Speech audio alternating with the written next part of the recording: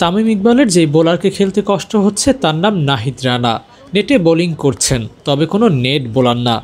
হাতে গোনা কয়েকজন ছাড়া তাকে তেমন কেউই চিনবেন না। ছিলেন অনূর্ধ্ব উনিশ দলের বিশ্বকাপের ক্যাম্পে, তবে শেষ পর্যন্ত মূল দলে খেলার সুযোগ হয়নি। অনূর্ধ্ব উনিশ দলের ক্যাম্প থেকে বাদ পড়ার পর কেউ আর খোঁজ খবর রাখেনি। তবে রানা থেমে থাকেননি। নিজের হার না মানা ইচ্ছেশক্তিকে কাজে লাগিয়ে রানা আরও পরিপূর্ণ হয়ে উঠলেন। এনসিএলের সর্বোচ্চ উইকেট শিকারের তালিকায় নাহিদ রানার নাম রয়েছে দ্বিতীয় নম্বরে। এগারো ইনিংসে নিয়েছিলেন একত্রিশ উইকেট।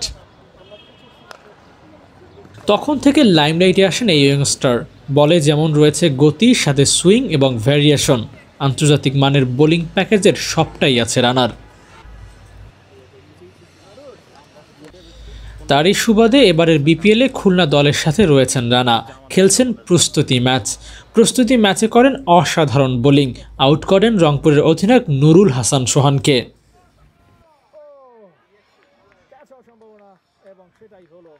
ফিরে গেলেন ক্যাপ্টেন রংপুর রাইডার্সের ক্যাপ্টেন। ফিরে গেলেন। নাহিদ রানার প্রসঙ্গে বিপিএলের লোকাল এক কোচ বলেন, তার সাথে দীর্ঘ সময় আলাপ করে বুঝলাম, রানার মধ্যে জয় করার মনোবল রয়েছে।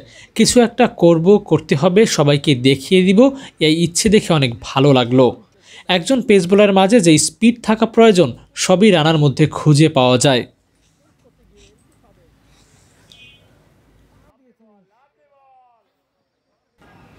শুধু নাহিদ রানা না, খুলনা দলে রয়েছে আরেক তরুণ পেস বোলার মুশফিক হাসান।